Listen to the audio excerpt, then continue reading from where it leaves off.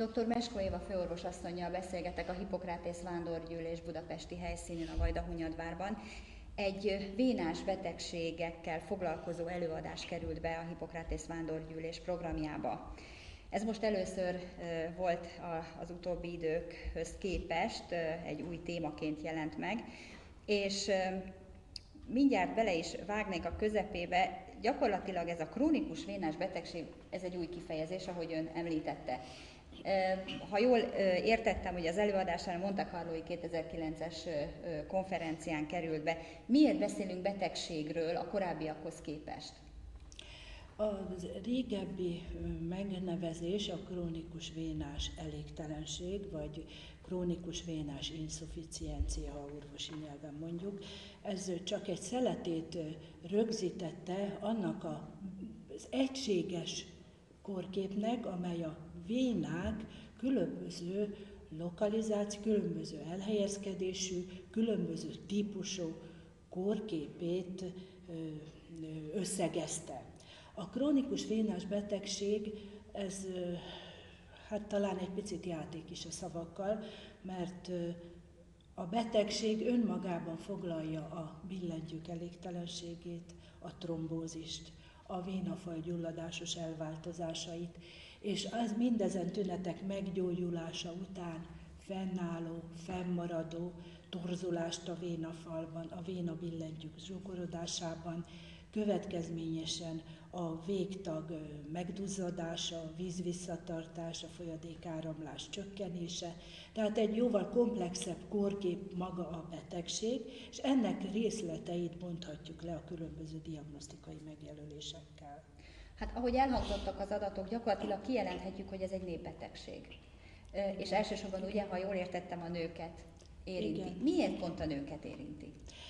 Azért talán a magyarázat viszonylag egyszerű, ugyanis egyrészt a szöveti lazasság inkább jellemző a női szervezetre, a női végtagok szerkezetére, másrészt talán több is az elhízott beteg a nők körében, az elhízás pedig egy nagyon fontos kockázati tényező. Nagyon fontos kockázati tényező a terhesség, amely az elhízással azonosan megnöveli a testtömeget egyrészt, másrészt pedig ehhez társuló hormonális hatások, amik megint csak a nőket érintik elsősorban, gondolok itt a, a hát a klimaktérium előtti periódusra, klimaktérium után viszonylag kevesebb viszér bántalom jut új betegségként a felszínre, de kétségtelenül, hogy a hormonok elsődlegesen fontos szerepet játszanak, és ez a nők részéről hozomány. Egyrészt ugye örök, örökletes betegségről beszélünk, tehát ha valakinek a családjában, tehát mondjuk a felmenői között volt, akkor, akkor szinte biztos, hogy a, a gyerekeknél is előfordul. Mondjuk nem mindegyik fajtája örökletes, de azt kell, hogy mondjam, a hajlamot is lehet örökölni.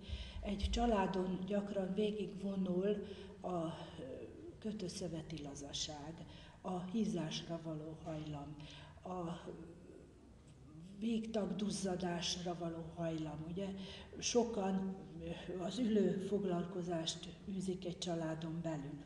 Gondolok itt a gyárban, vagy munkahelyen, irodában dolgozó családtagok tömegére. Ez is önmagában egy olyan hajlamot, egy olyan adottságot jelent, amely már a billentyűk kitágulásához, esetleg gyulladás kialakulásához, majd következményesen a billentyűk zsogorodásához vezet, és ezáltal egy hajlamot örökölve megkapjuk a betegséget. Ha megnézzük ugye földrészenként, akkor az is jellemző, hogy a, a magasabb civilizációval rendelkező régióban, tehát Európában, Amerikában sokkal nagyobb a száma a betegeknek, mint mondjuk az afrikai vagy ázsiai régióban, ahol, ahol talán még a fizikai munka az ugye sokkal jellemzőbb, tehát sokkal Igen. nehezebb úgymond Igen. az életük, és mi itt a, a könnyedebb, civilizált világban Igen. előbb leszünk Igen. hát különböző vénás betegségek áldozatai. Igen. Hogy miért? Igen. Ennek is azért van bizonyos fokig magyarázata, de százszerzalékig biztos magyarázat erre nincs. A, hát afrikai törzseknél, ugye egész más a mozgáskultúrájuk. Már maga az a mindennapos rituális tánc, amit elvégeznek, az önmagában egy, egy mozgást segít, és a végtagpumpa funkcióját nagyon nagy mértékben elősegíti. A táplálkozás, a gyökerek, vagy, vagy a jól megrágott ételek, a jó fogozat, a, a mindazok, amik az emésztést elősegítő funkciók. Ezek feltétlenül ellene dolgoznak a vénás pangásnak, a vér pangásának, a trombózis keletkezésének. Ugyanakkor a civilizációban ugye sokat ülünk, a televízió előtt ülünk órákat, napokat néha. Olyan sportokat űzünk, amik viszonylag kevés mozgással járnak. Hát nem azt mondom, hogy mindenki sakkozni fog, de, de kétségtelen, hogy, hogy még a sportolásban is bizonyos mértékű kényelmi igényeinket elégítjük ki. Hát a táplálkozás. A táplálkozás olyan, amilyen sajnos az ételek megrágása, a megfelelő rostos ételek fogyasztása, a vitaminos dús ételek kihagyása, ez nagy mértékben elősegíti, hogy hát az emésztésünk meglassul, rosszabb lesz, a rostos ételek kihagyásával a, a felszívódás is nagy mértékben megváltozik, a vitaminok hasznosítása is mérsékeltebb, és természetesen a, ha más nem mondok, ugye a székrekedés kérdése, ez már oda vezet, hogy pangás lép fel a kismedencében, ami a viszerek kitágulását eredményezi, és a helytelen táplálkozása, nagyon sok cukros étel, a tejszínhapok fogyasztása, a sok szénhidrát tartalmú étel fogyasztása, ez mindenképpen a túlsúly felé tereli a lehetőséget, hát a túlsúly meg egyértelműen melegágya különböző szív- és érrendszeri betegségeknek, és az érrendszerben ott. Mit tehetünk? Tehát azért ugye Európában élünk, nagyon, nagyon sok nőnek, tehát ugye, hát ahogy láttam az adatokat, gyakorlatilag majd, hogy nem a lakosság fele, ugye? Ha 30-35 százalék. Akkor, akkor azt mondjuk mindenki, tehát nagyon sokan érintettek, és hogy a nőkre fokozottan veszélyes ez a dolog. Mit tehetünk a prevencióban? Tehát mik azok a lépések, amelyek segítenek bennünket? Én azt hiszem, hogy nyugaton is, meg, meg nálunk is azért már a eddigi, eddigi rossz életmóddal egy kicsit kezdünk szakítani. Kezdünk rájönni a helyes táplálkozás jelentőségére. Kezdünk rájönni a mozgásos életmód jelentőségére. És ez mindenképpen egy, hát úgy mondjam, egy társadalmi, társadalmi együtt akarás, együtt gondolkodásnak kell, hogy eredménye legyen divatosak a fogyókúrák. Most ezzel nagyon kell vigyázni, mert ha hirtelen nagy mennyiségű zsírt leadunk, szóval hir, hirtelen nagy mennyiségű, több kilót leadunk hirtelen, akkor a következő jelenség az lesz, hogy kétszer annyit meghízunk rövid időn belül. Tehát a szervezetnek van egy ilyen, úgy mondjuk, hogy egy ilyen visszacsapó effektusa, amit semmiképpen nem biztosítja, ami nem biztosítja a célnak az elérését. Tehát a viszonylag kalóriaszegény étrend, a, a normális életmód, a megfelelő pihenés rendkívül fontos, a rosdus táplálkozás, vitaminok fogyasztása, de nem a cukrozott italok formájában, bőséges folyadékfogyasztás, és mindig az évszakhoz kapcsolódó, az évszakhoz fűződő étrendnek a biztosítása. Tehát télen is más, nyáron is más a megfelelő táplálkozási igény. Mi van akkor, ha már a probléma megvan? Amikor már ugye megjelennek ezek a pókláb jelenségek, vagy, vagy különböző kis kék erecskék már látszanak, akkor ugye nagyon sokan ahhoz a megoldáshoz folyamodnak, hogy elinjekcióztatják ezeket az ereket. Ez megfelelő megoldása, vagy pedig ö, ez csak egy időszakos megoldás, és utána jön egy következő probléma, és esetleg azt már, már teljesen másképp kell kezelni, súlyosabb eset lesz belőle. Ez valóban így van, és valóban előre nem látjuk a mi csak a jéghegy csúcsát látjuk ezekben a kis erekben. Éppen ezért alapvető szabály, hogy minden beavatkozás javaslata előtt át kell vizsgálni alaposan, meg kell vizsgálni alaposan a, azonos, a végtag viszér hálózatát. Erre a legalkalmasabbak az ultrahangos eljárások, ma már nagyon konkrét, nagyon korrekt ö, ö, diagnosztikai eszközök állnak rendelkezésre. És tulajdonképpen a beavatkozást végző orvos, általában érsebész vagy radiológus dönti el, hogy abban a szituációban, azon a lápon milyen beavatkozásra van szükség. Én általában azt szoktam mondani, ha csak nem a torzító esztétikai hibával jár, mondjuk egy hatalmas olyan, a pókláb vénáról, ami az egy, egy fiatal lánynak a fél arcát mondjuk befedi, és, és hát mondjuk a társadalomban is kellemetlen a megjelenése. Tehát ha ilyen esztétikai, komoly esztétikai indok van, akkor gondolkozni kell ennek a lehetőségnek, elsősorban a, az úgynevezett szkleroterápia, amit injekciós kezelésnek hívnak, alkalmazásával. De ezt is mindig feltétlenül részletes érrendszeri vizsgálat kell, hogy megelőzze. És akkor szabad dönteni, nem szabad vállalkozni sem olyan beavatkozásra, ami nem egy megfelelően végzett diagnosztikai eljárás eredményeképpen került javaslatra. Értem.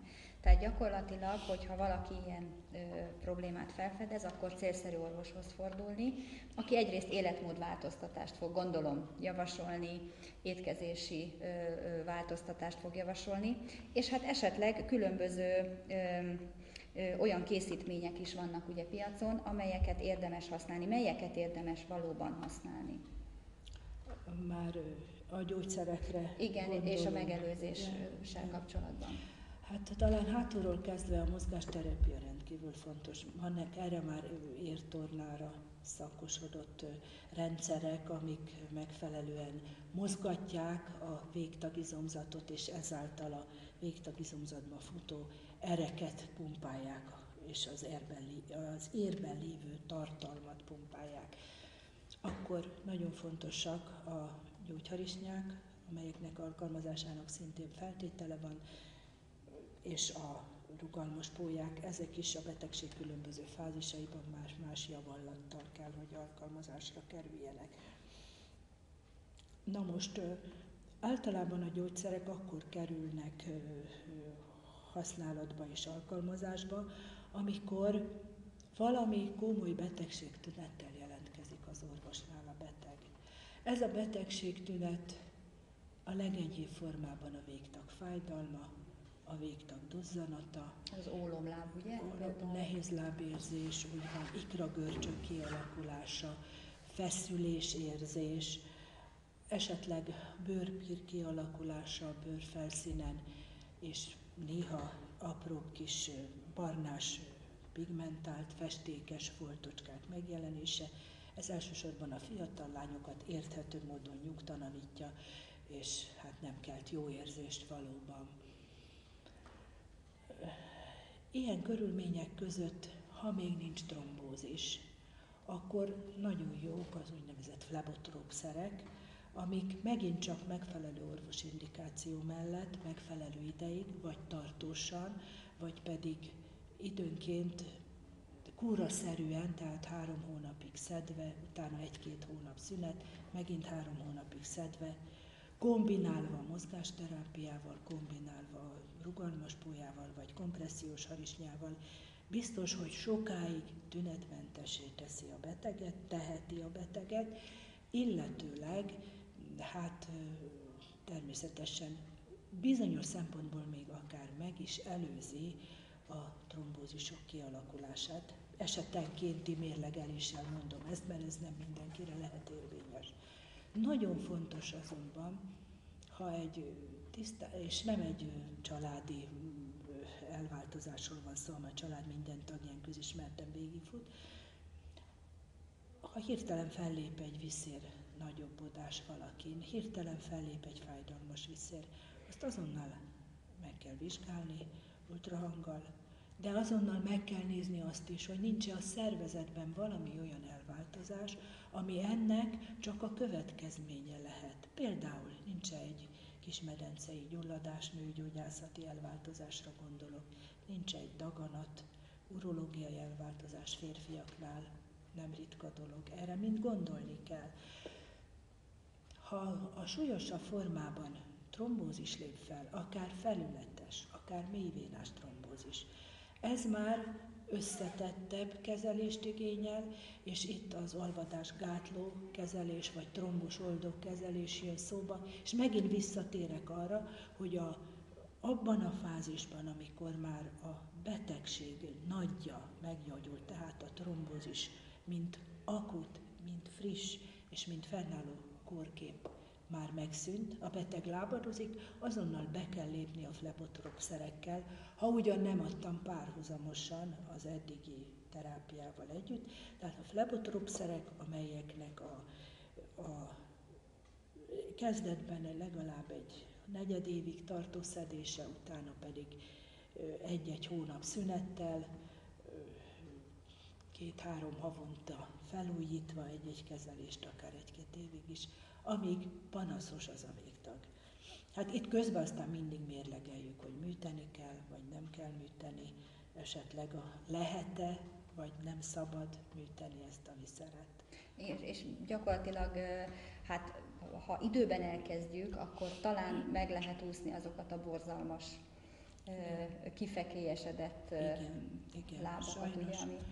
Ez, ez külföldön és Magyarországon is hatalmas tömeget, emberek millióit, Amerikában is láttuk, hogy milliós nagyságrendű a beteg létszám. Magyarországon a viszérbetegek egy százalékán tartósan rokkant is lehet a hatalmas fekélyek és állandóan kezelésre szoruló fekélyek révén. És az egy életprogram lesz onnantól. Ez egy nagy mértékben rontja az életminőséget, rendkívül rontja a munkaalkalmassági lehetőségeket, végső soron mozgás szegénységet vált ki, amely következményeiben megint csak a vénás pangást fokozza, a végtagödémát növeli. Most ha újból megdagad az a végtag, ez megtáplálja a fekényt. Tehát egy olyan zárt körű, elégtelen rendszer alakul ki, amiből nagyon nehéz ki, kijutni. De van bizonyos lehetőség. Az ön tapasztalatai szerint, hiszen egy nagy kórház ö, ö, osztályát vezeti, most már nem vezetem, nem? Most, most már nem vezetem, most már ambulancián Értem, a, rengeteg beteggel találkozik, ezért ezt feltételezem. Időben kerül, úgymond még időben kerülnek-e önhöz, vagy már sajnos kétségbejtő helyzetben? Tehát időben lépnek-e az emberek orvoshoz ebben a kérdésben, vagy, vagy hagyják, hogy, hogy már rossz állapotúvá váljon a betegségük? Igen, ez egy nagyon, nagyon fontos kérdés. Sajnos nagyobb az elhanyagolt esetek száma, mint az időben felfedezett és megfelelően kezelt. Mert az sem biztos, hogy időben felfedezzük, de az sem biztos, hogy az időben felfedezett korképet jól gyógyítjuk. Nem mondjuk, hogy mi, hanem úgy általánosságban. Ebben egy picit a beteg is ludas, mert előfordul, hogy késve megy az orvoshoz. Időben megy ugyan az orvoshoz, de annak utasításait nem mindig tartja be. És ez nem attól függ, hogy, hogy ő akarja vagy nem akarja sokszor, hanem például drágák esetleg a gyógyszerek, nem tudja megvásárolni Nincs rá ideje, hogy elmenjen a patikába, nincs rá ideje, mert dolgoznia kell, mert ő gyereke van, vagy szóval nagyon sok és nagyon, ö, hát a, a szegénység bugyrai azok sok irányúak, és nagyon sokszor vannak olyan dolgok, amikről nem a beteg, nem az orvos tehet, hanem a, a, a, a környezet, a körülmények. A legtöbb beteg sajnos csak akkor megy orvoshoz, amikor már vagy nagyon nagy szenvedéssel jár egy fekély, például fekélyes elváltozás, vagy nagyon dagadt már a lába és nagyon fáj, ezek az elhanyagolt trombózisok szoktak lenni. vagy akkor, amikor már a mélyvénás trombózishoz nagy fulladós érzéssel járó tüdőembólia társul, akkor kerül általában orvoshoz. Hát jó lenne, jó lenne legalább minden egyes, vagy legalább egyszer, egyszer, évente egyszer minden betegen a körzetben a viszerekre csak ránézni, csak rátapintani. És ki lehetne szűrni azokat a betegeket, azokat az embereket, akik nem is tudnak arról, hogy komoly viszérbetegek, de valamilyen egészen egyszerű, megelőző kezeléssel, egy, egy harisnya alkalmazásával, vagy egy fásli alkalmazásával, vagy valamilyen flebotrop szerv közbeiktatásával lényegesen javítani lehetne az életminőséget, és ezáltal meg lehetne előzni a, mint ahogy a bevezetőben is erről szó volt, a krónikusabbá váló és hát lassanként tönkremenő végtagok kialakulását.